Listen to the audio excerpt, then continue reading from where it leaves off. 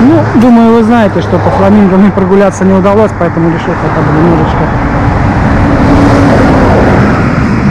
на дельфин зайти.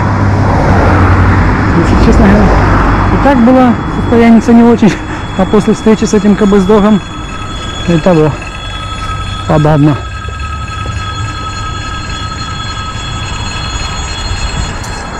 Так, сейчас, видимо, где-то с какой-то стороны поедет что-то такое. Хотя ни с какой стороны вообще не вижу. Поэтому вот так вот не поступайте, так не делайте.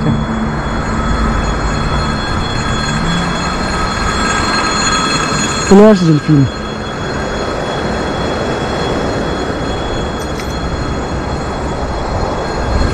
Спустимся, посмотрим, что там.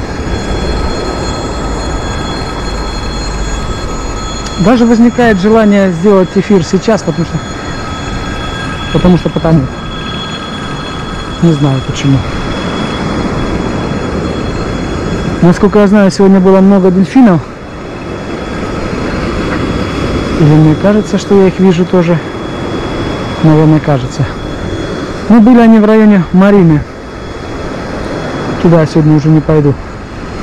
Не хочу. Вот мужчина там установил ряд удочек и занимается рыбной ловлей. Какая рыба ловится у нас в Черном море? Есть статья на Дзен-канале. Шхуна Баркас Мария уже на базе, поэтому мы не увидим с вами, что он там наловил. Так бы, если бы... Ну, обычно барабулю. Я был свидетелем тому, как они привозили барабулю, показывал.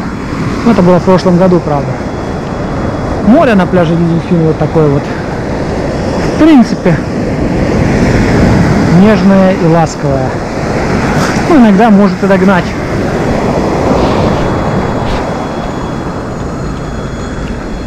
Людей практически единицы. Ну, не, не практически, а единица. Трех человек я вижу, которые гуляют непосредственно по пляжу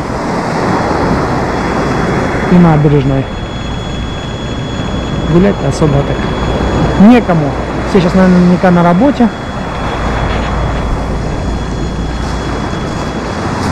А у меня такое ощущение, что я вот буквально вчера здесь был.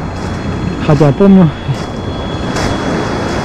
этот маршрут я проходил, когда я снимал ролик про все пляжи Лазаревского от начала до конца. Ну, или от конца до начала, смотря с какой стороны смотреть.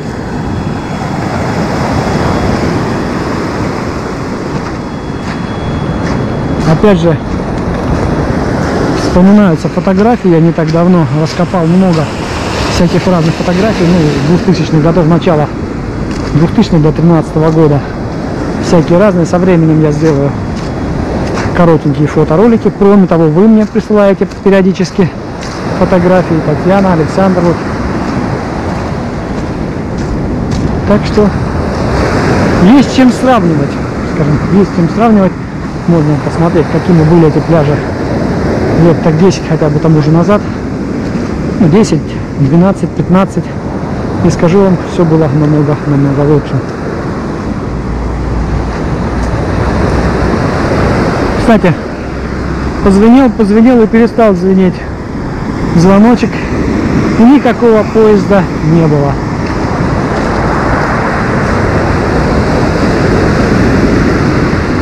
В 2020, точнее вот в этой части зимы, скажем так, 2022 года пока никаких таких больших сильных штормов не было. Но тем не менее, даже отсюда видно, как вон там за фламинго укрепляют. Очень хорошо укрепляют. Вот эти берега, скажем так. Не везде, не все, не целиком и полностью, но укрепляют. Вот такие вот, я не знаю, как они правильно называются, фигуры вроде в виде конусов. Выстроены над бетонными такими вот отбойниками.